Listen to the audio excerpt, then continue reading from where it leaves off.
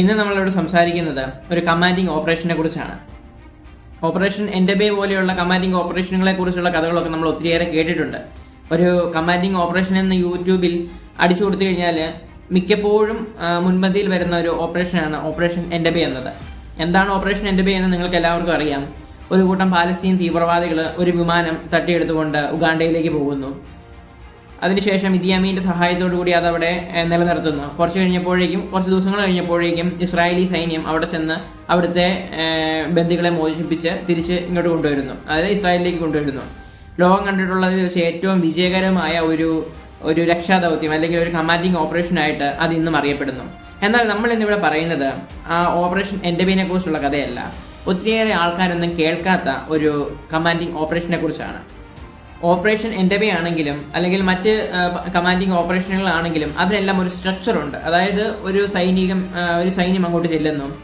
അവിടുത്തെ തീവ്രവാദികളെല്ലാം വെടിവെക്കുന്നു. അതിനുശേഷം അവിടുത്തെ ബന്ധുക്കളെല്ലാം മോചിപ്പിച്ച് തിരിച്ചിങ്ങോട്ട് കൊണ്ടുവരുന്നു. അതാണ് സാധാരണ രീതിയിലുള്ള ഒരു കമാൻഡിങ് ഓപ്പറേഷന്റെ രീതി എന്ന് പറയുന്നത്. എന്നാൽ ഇപ്പോൾ നമ്മളിവിടെ പറയുന്ന കഥയ്ക്ക് അല്ലെങ്കിൽ ഈ കമാൻഡിങ് ഓപ്പറേഷൻ എന്ന് പറയുന്നത് മറ്റൊരു രീതിയിലാണ്. ഈ രീതി തന്നെയാണ് ഈ കമാൻഡിങ് ഓപ്പറേഷനെ വ്യത്യസ്തമാക്കുന്നത്. ഇത് നടക്കുന്നത് റഷ്യയിലാണ്. റഷ്യയിലെ മോസ്കോയിലാണ്. ഇത് അറിയപ്പെടുന്നത് തന്നെ മോസ്കോ തിയേറ്റർ ഹോസ്റ്റേജ് ക്രൈസിസ് എന്നാണ്. ഇതിനെക്കുറിച്ചുള്ള വീഡിയോ ഒന്നും ഒത്തിരി ഒന്നും ഞാൻ യൂട്യൂബിൽ നോക്കിയിട്ട് കണ്ടില്ല. അങ്ങനെ മലയാളത്തിലൊന്നും ഇതിനെക്കുറിച്ചില്ല. അതായത് ഈ ഒരു കമാൻഡിങ് ഓപ്പറേഷൻ ഉണ്ടാകാനുള്ള സാഹചര്യം ചെച്ചൻ തീവ്രവാദികളാണ് അല്ലെങ്കിൽ ചെച്ചൻ വിഘടനവാദികളാണ്.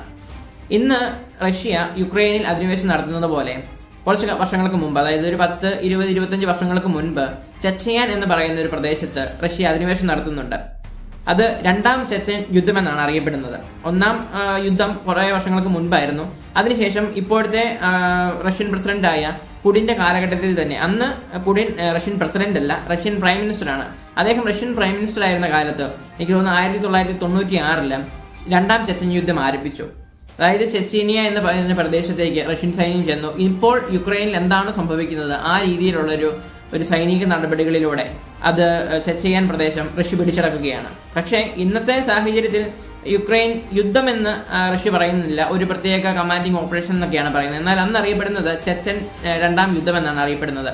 അങ്ങനെ ഈ ചെച്ചൻ തീവ്രവാദികൾ അല്ലെങ്കിൽ ഈ ചെച്ചനിയയിലെ കുറച്ച് ആളുകൾ അവിടുത്തെ വിഘടനവാദികൾ റഷ്യയിലേക്ക് കടന്നു കയറുകയാണ്. കടന്നു കയറിയിട്ട് മോസ്കോയിലെ ഒരു തിയേറ്റർ അവർ പിടിച്ചടക്കുന്നു.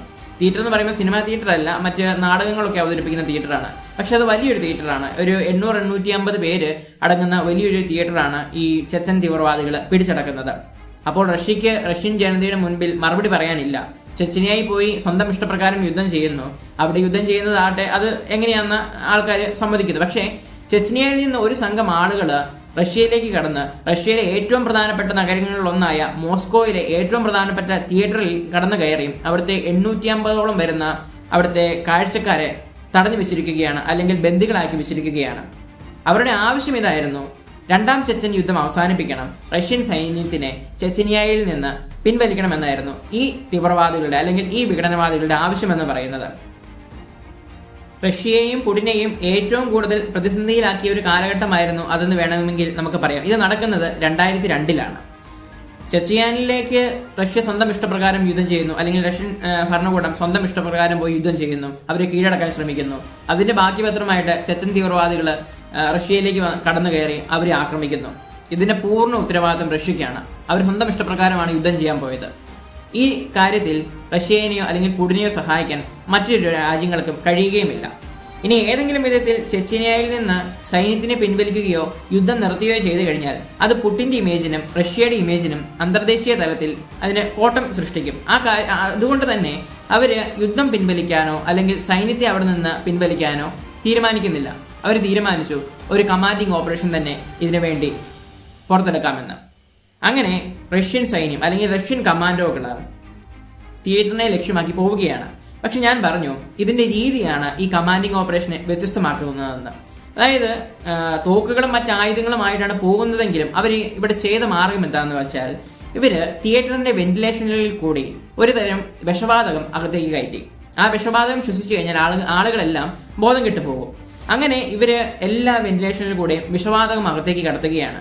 പക്ഷെ അവിടുത്തെ തീവ്രവാദികൾക്ക് റഷ്യക്കാരുടെ സ്വഭാവം അറിയാം. അവർ പണ്ട് മുതലേ വിഷബാധകങ്ങളും അല്ലെങ്കിൽ വിഷപ്രയോഗങ്ങളും നടത്തുന്നതായതുകൊണ്ട് അവർ അതിനുള്ള മുൻകരുതലുകൾ എടുത്തിരുന്നു. ആ കാര്യം ഇപ്പോഴും അങ്ങനെ തന്നെയാണ് തുടരുന്നത്. റഷ്യയിലെ ഇപ്പോഴത്തെ പ്രതിപക്ഷ നേതാവിനെ ഒരു വിഷം കുത്തിവെച്ച് ആശുപത്രിയിൽ അത്യാസന നിലയിലാക്കിയതിനെ കുറിച്ചുള്ള വാർത്തകളൊക്കെ കുറച്ച് കാലങ്ങൾക്ക് മുൻപ് പത്രത്തിലൊക്കെ നമ്മൾ കണ്ടതാണ്. എന്ന് പറഞ്ഞ പോലെ അത് ഇന്നോ ഇന്നലെ തുടങ്ങിയതല്ല. വർഷങ്ങൾക്ക് മുൻപേ ഈ റഷ്യ ഈ ആയുധങ്ങൾ പ്രയോഗിക്കുന്നതിനോടൊപ്പം തന്നെ വിഷവാദവും അല്ലെങ്കിൽ വിഷങ്ങളും പ്രയോഗിച്ചിരുന്നു. അതുകൊണ്ട് ഈ ചെച്ചൻ തീവ്രവാദികൾ മാസ്ക് ധരിച്ചിരുന്നു. ഇവരുടെ സ്വഭാവം അറിയാവുന്നതുകൊണ്ട്. അവർ മാസ്ക് ധരിച്ച് തോക്കുമായിട്ട് ഇവരെ വെടിവെച്ചു.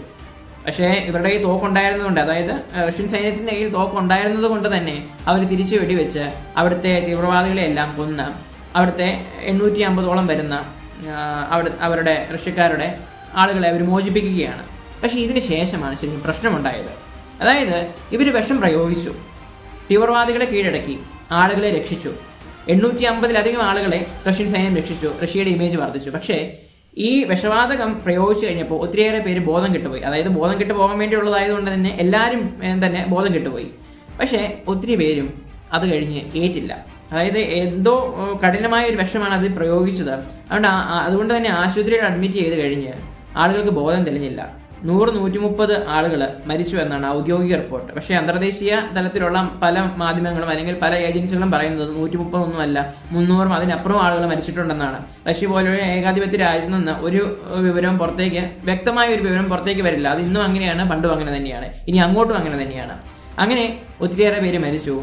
പുടിനും അല്ലെങ്കിൽ റഷ്യൻ ഭരണകൂടവും ഒക്കെ വന്ന് റഷ്യയുടെ മാപ്പ് പറയുന്ന ഒരു അവസ്ഥാന്തരത്തിലേക്ക് വരെ എത്തി. ഈ വിഷവാതകം എന്താണെന്ന് ഇതുവരെ റഷ്യ അതായത് ഇത്രയും വർഷങ്ങൾ കഴിഞ്ഞിട്ട് പോലും റഷ്യ ഇത് ഏത് തരത്തിലുള്ള വിഷവാതകമാണെന്ന് അല്ലെങ്കിൽ അവിടെ പ്രയോഗിച്ചത് ഏതാണെന്ന് ഇതുവരെ അവർ പറഞ്ഞിട്ടില്ല. അതുകൊണ്ട് തന്നെ അതൊരു മിസ്റ്ററി ആയിട്ട് ഇപ്പോഴും നിലനിൽക്കുന്നു. പക്ഷേ ഒരു കാര്യം നമ്മൾ ഓർക്കണം. ഈ ഒരു കമാൻഡിംഗ് ഓപ്പറേഷൻ വിജയിച്ചായിരുന്നെങ്കിൽ വിജയിച്ചില്ലെന്ന് നമ്മൾ പറയുന്നില്ല. ഈ ആളുകൾ മരിക്കാതെ വിഷവാതകം ശ്വസിച്ച് ആളുകൾ മരിച്ചില്ലായിരുന്നുവെങ്കിൽ ലോകത്തിൽ നടന്ന ഏറ്റവും വലിയ അല്ലെങ്കിൽ ഏറ്റവും വിജയകരമായിട്ട് നടന്ന ഒരു കമാൻഡിംഗ് ഓപ്പറേഷനായിട്ട് ഇത് മാറിയേനെ.